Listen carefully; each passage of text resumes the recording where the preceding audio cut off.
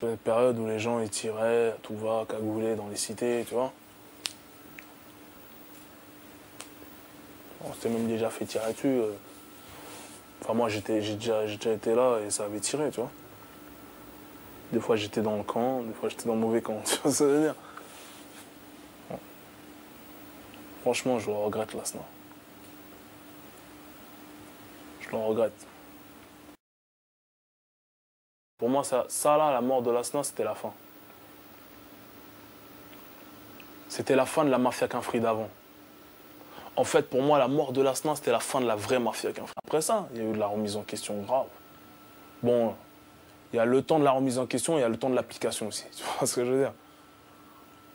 Parce que après, on a eu la haine après, tu vois. Il y grave la haine.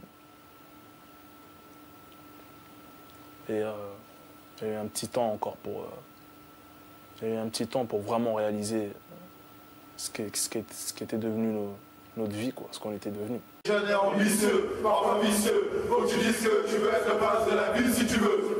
Où tu veux, quand tu veux, quand tu veux.